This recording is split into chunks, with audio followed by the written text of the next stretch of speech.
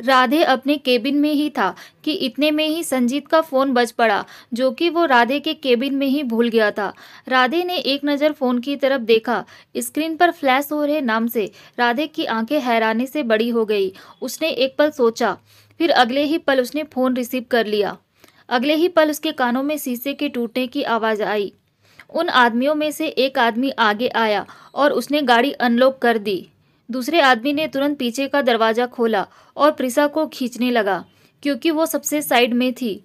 श्रुति प्रिसा को अपनी तरफ़ खींचते हुए चिल्लाने लगी, छोड़ो, उसे छोड़ो। पर श्रुति नाकामयाब ही रही। उस आदमी ने प्रिसा को खींचकर बाहर कर दिया और श्रुति के साथ रुचि को भी गाड़ी से बाहर निकाल लिया। राधे ने जैसे ही श्रुति की आवाज़ सुनी, वो घबरा गया। वो तेज़ी से अपने केबिन से बाहर निकल गया। उसने किसी की तरफ़ ध्यान नहीं दिया और सीधे लिफ्ट से नीचे चला गया। संजीत राधे को ऐसे देख हैरान था और साथ ही रोहित भी। इससे पहले संजीत कुछ रिएक्ट करता। लिफ्ट का दरवाज़ा बंद हो चुका था। संजीत ने एक नज़र लिफ्ट की तरफ़ देखा और तेज़ी से सीढ़ियों की तरफ़ दौड़ा। रोहित भी उसके पीछे ही चल दिया। राधे जैसे ही पार्किंग एरिया में पहुँचा, उसने गाड़ी में बैठते ही अपना फ़ोन निकाला और संजीत का फ़ोन स्पीकर में करके वही अपने सामने रख दिया और तुरंत ही उसने ड्राइवर को कॉल किया। रुचि की आँखों में आँसू आ गए। वो ज़ोर से रोने लगी। श्रुति ने तुरंत रुचि को अपने गले लगा लिया और उन लोगों से कहने लगी, कौन हो तुम सब? क्या चाहिए तुम्हें? उन आदमियों ने कुछ भी नहीं कहा, बल्कि श्रुति और रुचि को अलग करने लगे।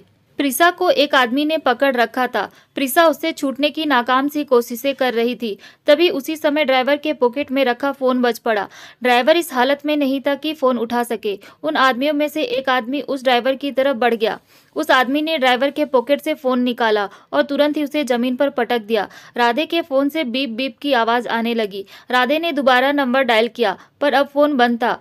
राधे ने तुरंत चाची का नंबर डायल किया और उनसे श्रुति, प्रिसा और रुचि के बारे में पूछा। चाची ने कहा कि उन्हें निकले अभी दस ही मिनट हुए हैं। राधे ने अपनी गाड़ी तुरंत ही वहाँ से भगा दी। तब तक संजीत और रोहित भी नीचे आ चुके थे। वे भी दूसरी गाड़ी से राधे के पीछे चल दिए। रुचि का रो रो कर बुरा हाल था और श्रुति कुछ भी नहीं कर पा रही थी। प्रिसा और रुचि को यूँ देखकर उसकी भी आँखें नम हो चुकी थी। तभी वहाँ एक और गाड़ी आकर रुकी। उन आदमियों ने तीनों लड़कियों को उस गाड़ी में ज़बरदस्ती बिठा दिया और गाड़ी का दरवाज़ा बंद कर दिया। गाड़ी का दरवाज़ा बंद होते ही वो गाड़ी वहाँ से निकल गई और वो सारे आदमी अपनी गाड़ी की तरफ़ बढ़ गए।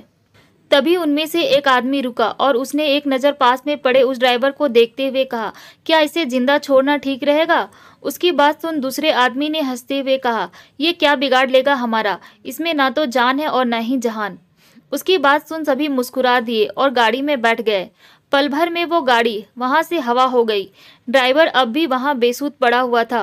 कुछ ही देर में एक तेज़ी से आती गाड़ी वहाँ रुकी। वो गाड़ी काफ़ी तेज थी, जिससे अचानक ब्रेक लगा देने की वजह से उसके टायर भी घिस गए। राधे ने तुरंत गाड़ी का दरवाज़ा खोला और गाड़ी से बाहर आ गया। बाहर आते ही वहाँ का हाल देख राधे को बहुत गुस्सा आया। वो तुरंत ड्राइवर के पास गया। ड्राइवर बेहोश था। राधे ने तुरंत एंबुलेंस को कॉल कर दिया। तब तक वहाँ एक और गाड़ी आकर रुकी। उसमें से संजीत और रोहित बाहर निकले।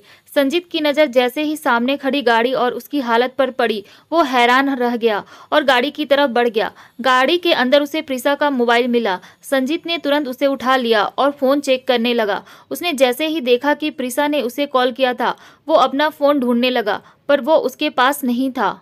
राधे संजीत और रोहित के पास आया और उसने उन्हें ड्राइवर को हॉस्पिटल भेजने के लिए कह दिया और खुद गाड़ी लेकर निकल गया। संजीत तो बस देखता ही रह गया। कुछ ही देर में एंबुलेंस आ गई। संजीत और रोहित ने मिलकर उस ड्राइवर को एंबुलेंस में लिटा दिया। तभी ड्राइवर को हल्का होश आया और उसके मुँह से एक हल्की सी आवाज़ निकली। Shadow shadow. संजीत को कुछ समझ नहीं आया, पर ड्राइवर के मुँह से सैडो सब सुनते ही रोहित के एक्सप्रेशन एकदम से चेंज हो गए। राधे अब भी अपनी गाड़ी खाली सड़क पर दौड़ा रहा था। उसके दिमाग ने तो जैसे काम करना ही बंद कर दिया था। वो बस गाड़ी भगाते हुए बाहर की तरफ़ ही देख रहा था कि कहीं से उसे पता चल जाए कि आखिर तीनों लड़कियाँ हैं कहाँ। राधे के दिमाग में वो एक्सीडेंट, उसके साथ वो गिफ्ट बॉक्स सब याद आने लगा। तभी उसके फ़ोन की घंटी बज पड़ी। राधे ने अपने फ़ोन की तरफ़ देखा। फ़ोन पर रोहित कॉलिंग फ्लैश हो रहा था। राधे ने तुरंत कॉल रिसीव किया। राधे के फ़ोन रिसीव करते ही रोहित ने बिना राधे की किसी भी बात पर ध्यान दिए ही जल्दी से कहा, sir, shadow is back. Driver ने बेहोशी में ही उसका नाम लिया है। एक तेज ब्रेक की आवाज़ के साथ राधे की गाड़ी एकदम से रुक गई। उसने गुस्से से कहा, सैडो, कहकर राधे ने अपना हाथ ज़ोर से गाड़ी के स्टेयरिंग पर मार दिया।